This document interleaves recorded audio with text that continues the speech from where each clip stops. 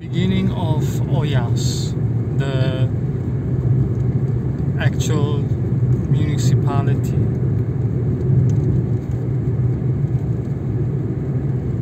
And this is um, the sort of higher section of the Valpelline. Um, this is a bridge on the stream and that's the view towards